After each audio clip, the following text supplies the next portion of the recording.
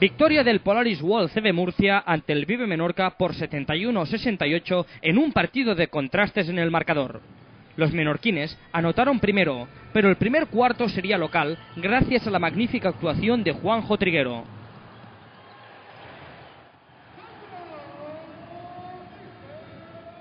Crismos intenta penetrar, pero recibe un tapón de Camerix. ¡Qué defensa murciana! Ahora es Stojic quien lo intenta, y taponazo de Triguero. Ya en ataque, Thomas falla, pero le roba la cartera a Moss y asiste a Triguero que la hunde. 22 de valoración para el pivot al fin del primer cuarto.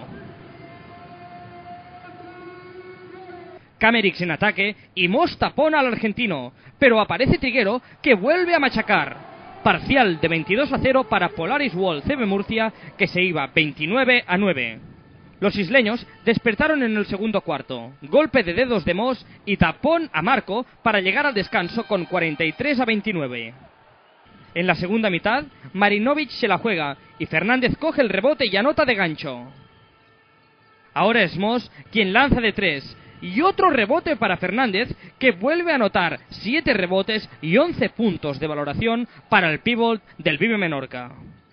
Los murcianos no querían perder su ventaja. Jugada de 2 más 1 para Camerix tras una trabajada acción.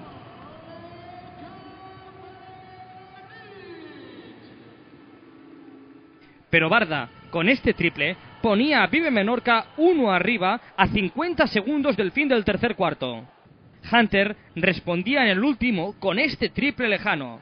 El americano fue el máximo anotador de su equipo con 17 puntos. El final se jugó en los tiros libres. Marinovich falla el primer intento con tres abajo para su equipo. Tira el segundo a fallar, pero los murcianos protegen bien el rebote.